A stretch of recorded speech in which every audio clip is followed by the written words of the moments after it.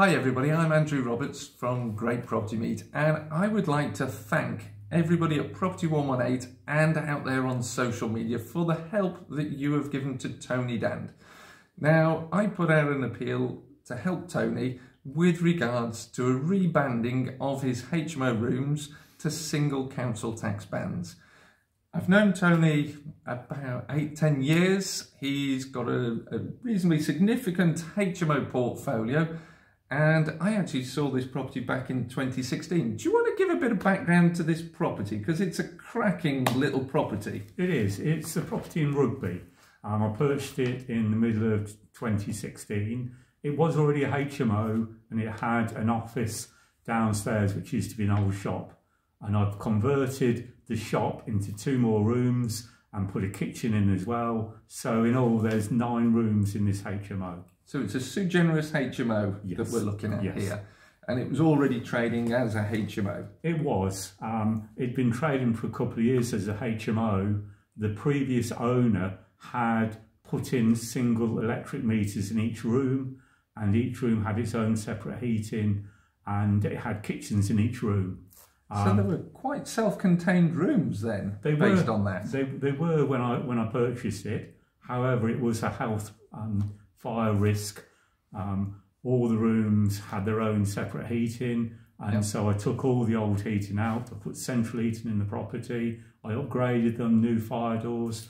Um, so it was fully compliant with HMO regulations. So effectively, you gave shared facilities rather than self-contained facilities. So yes. you're going actually the opposite way to what a lot of other HMO landlords are doing. Yes, I, I put in separate kitchens. Um, there was central heating for every room in the property, so I improved the um, facilities in the in the property for everyone. Fantastic. Well, you ended up uh, with the VOA contacting you and rebanding or reassessing your property. Now, you've got a document in your hand. It, it's, it's a little document here, which was the valuation tribunal hearing that you attended last week. How many pages are in that document? There is over 100. I think it's 104, 105 um, pages in the document.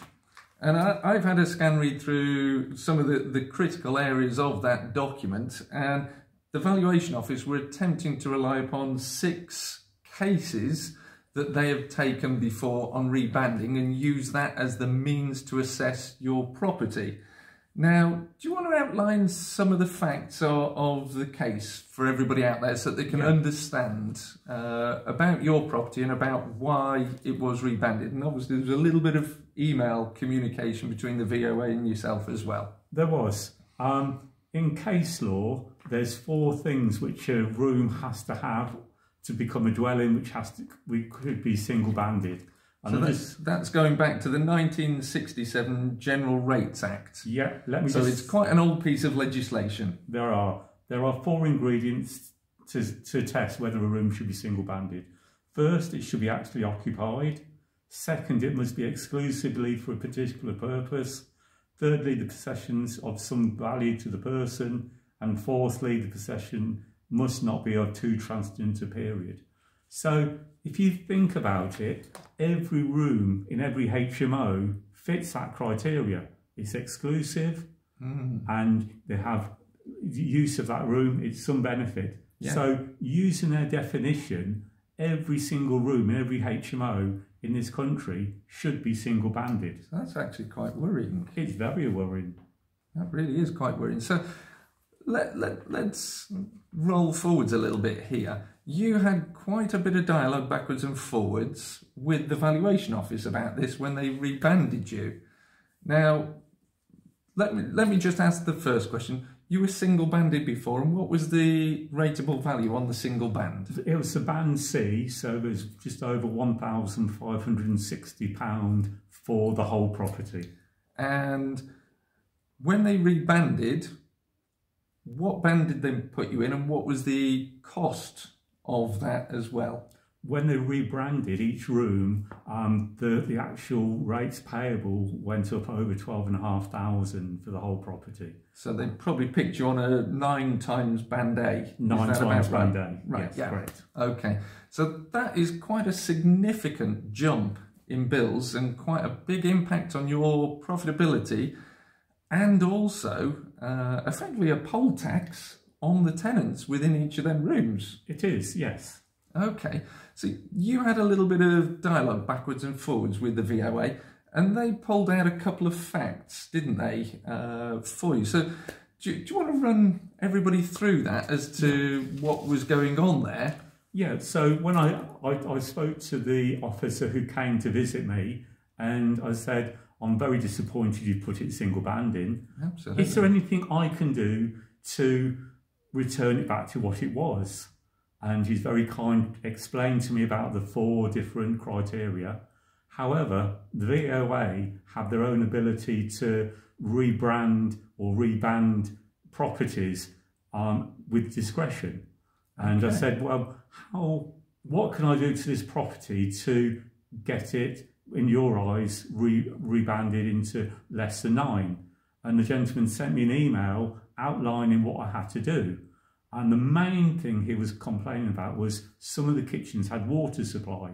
And he said, look, you've got separate kitchens. If you re re replace the kitchens with dry kitchens, i.e. take out the sinks, take out the water supply, we will come back and reband your property less than nine. Okay, so th that that's quite important. You can have a dry kitchen. Yeah.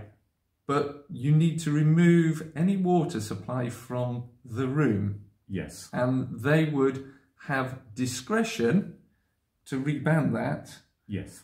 Which is quite an important point. There was a second point, wasn't there, that they also made to you about, um, in the email that we were going through earlier. And that second point, if, if I can just uh, refer yeah. to your email, what they were saying is in a HMO, in the majority of cases, each bedsit unit being in separate occupation constitutes a dwelling. So that's the starting point for each band. Yeah. Rooms do not have to be altered, even have a separate lock on it for the basic principle to apply. Yeah. Now we'll come on at the end of this video to a couple of points that were not actually tested in court because this case was won by Tony and thrown out on the first point of appeal. But we'll cover the extra points at the end.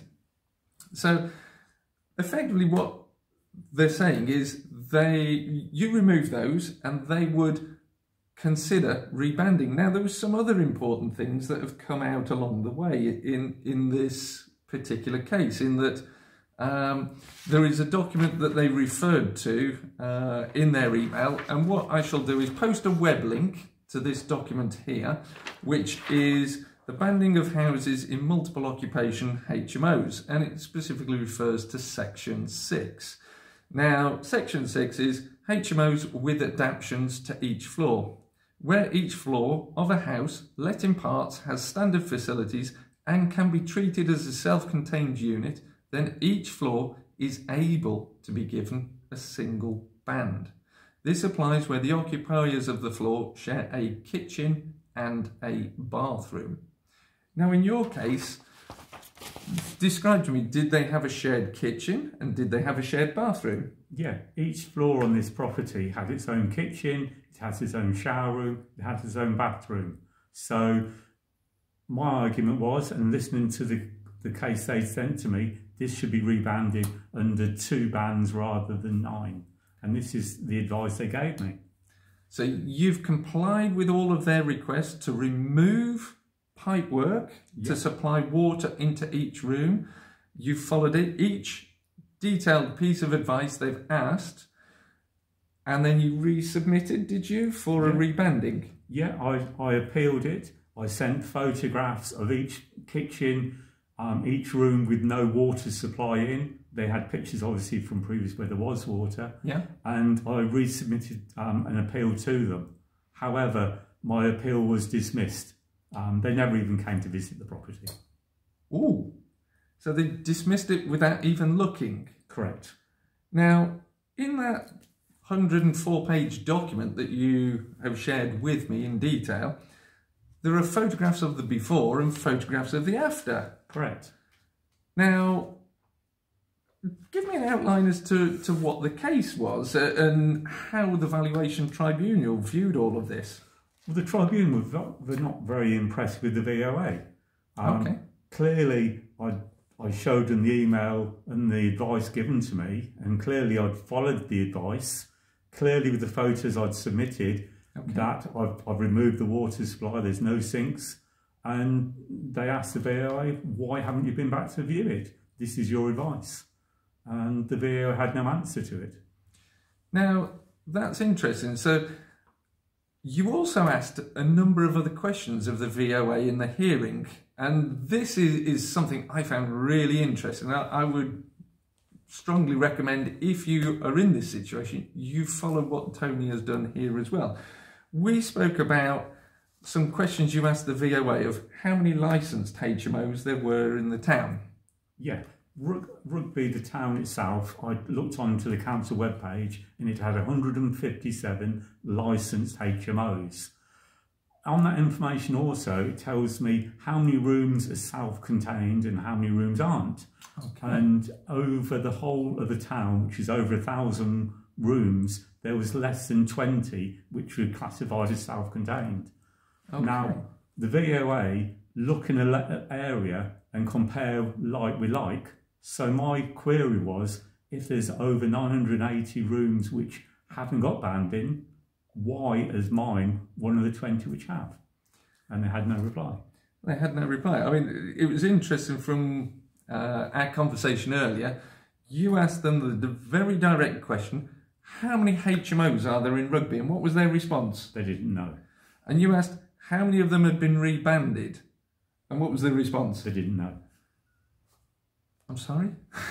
Yeah, That's fairly fundamental to a case. Yeah. Know the area. yeah, So if you go in a bit more prepared than they are, the Land uh, Tribunal are going to look more favourably on you than the expert who is telling them they don't know. So that's really great. Now, there were some interesting points going back to the 1967 Act. There was four tests of what classes are dwelling. yes. Now, at this point, what did the tribunal say to you about this hearing? Did they uh, proceed with it or did they make a judgment at this point? They made a judgment at this point. Obviously, I had direction from VOA to remove the water supply. I had done that, I had complied with it. They hadn't visited the property and they had no argument of why they hadn't been. So the the person in charge said, Well, you can't continue with this, you need to go back to the property, Yeah. re examine it, and come back with lower banding, like you've suggested to me. Yeah, because they'd put in writing, you Yeah. do this and we will reduce the banding. Yeah. And here, a web link will appear in the video and you'll be able to find that. Section 6 here clearly states what a dwelling is and clearly states what they can assess you on. And basically, at worst, in your property, because you've got various uh, layouts, you would have three band A's on your property at worst. At worst, yeah.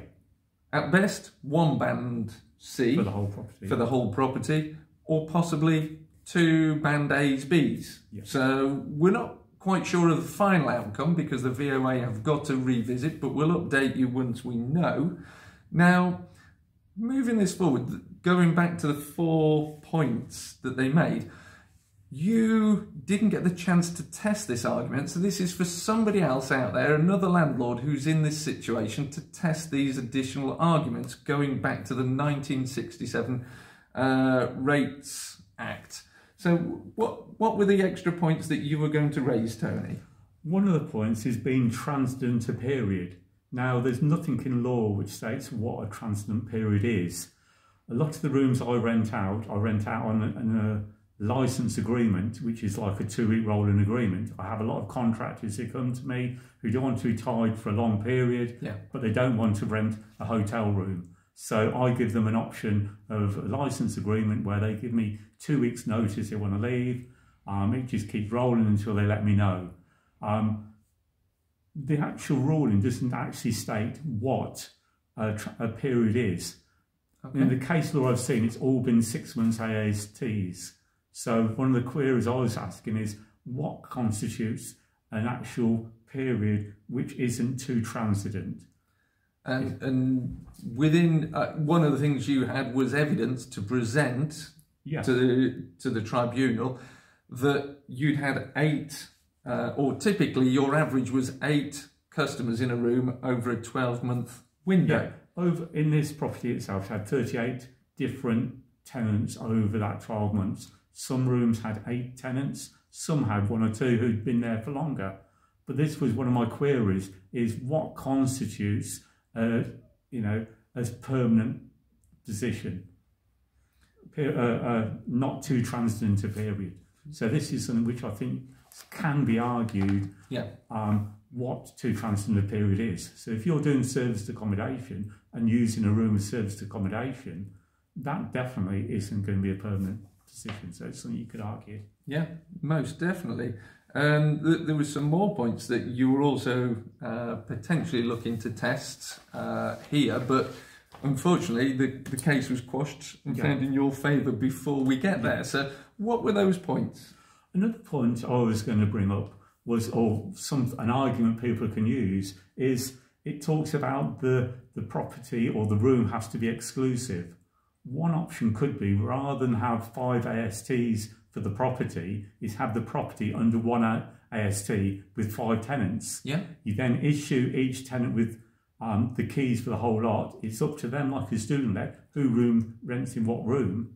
That way, they haven't got exclusivity per room actually written down. They've got the whole use of the house between them.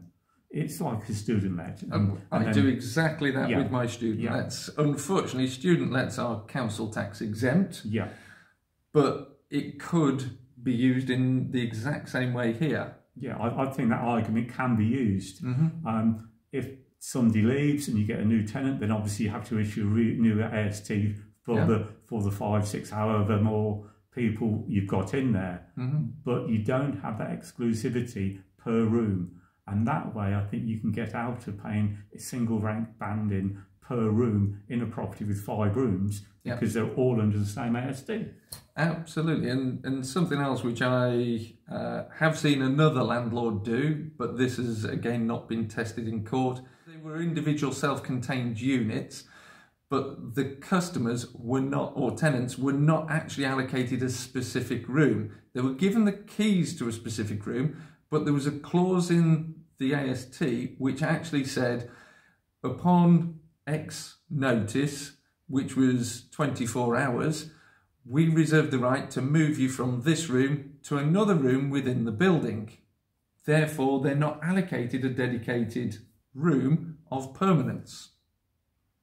It's another argument somebody can use going forward. Absolutely, absolutely. So, are, are there any pearls of wisdom you'd like to share with everybody today? It's don't be frightened to argue against the VOA. Yeah, Um, you can win cases. Every case will be different. So obviously it'll be, ex, you know, particular to yourself and your own house. But don't be frightened to go to the um, tribunal. Don't be frightened to argue about it. If you do get a case like I did, where your house suddenly becomes single-banded, write to them and ask them how you can change it. Because they may give you advice like they did me. And if you go to tribunal, you, you comply with that advice, they haven't really got any arguments to keep it single-banded. I think that's brilliant advice. I mean, always challenge something. I mean, I, I put it back to you're trying to negotiate with the VOA. You're asking them, what can I do to reduce my bill? And to go from about £1,600 to £12,500, that's a huge chunk out of your profit or your bottom line. And it could, with Section 24 tax and other things, tip you into a loss making situation.